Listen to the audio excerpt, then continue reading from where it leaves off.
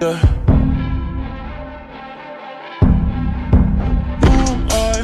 that's afraid to let go.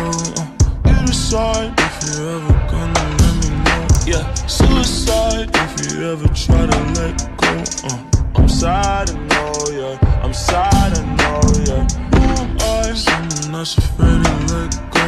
Uh, you decide if you ever gonna let me know. Yeah, suicide if you ever try to let go. Uh, sad, I know, yeah.